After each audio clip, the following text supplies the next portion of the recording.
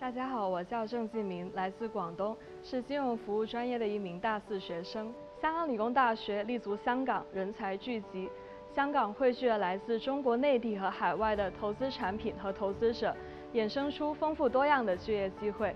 这也是我当初选择在理大工商管理学院修读金融服务的原因。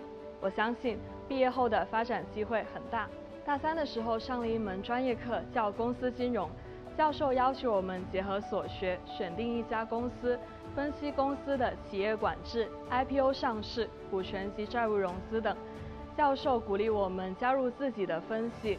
虽然工作量比较大，但我却学到从一个新的角度认识一家公司。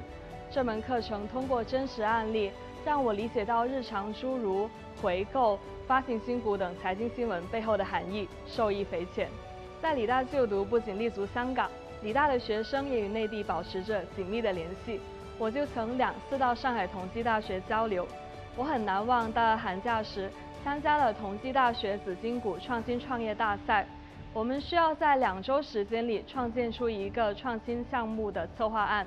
当时我们获得了来自腾讯、亚马逊等七位导师的创业指导，这让我对用户洞察、金融科技、跨境电商的课题有了新的认识。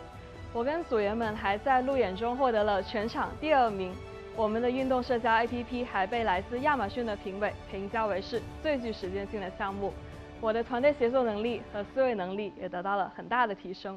另外，我也在服务社会方面有着珍贵的体验。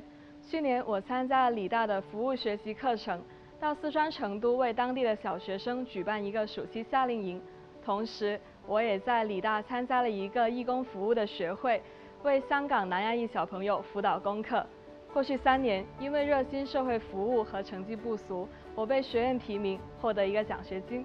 对于未来，我打算投身银行业，因为香港是全球领先的国际金融中心之一，也是许多金融机构的首选地点。我相信，在理大所学的金融服务知识，能够让我一展所长。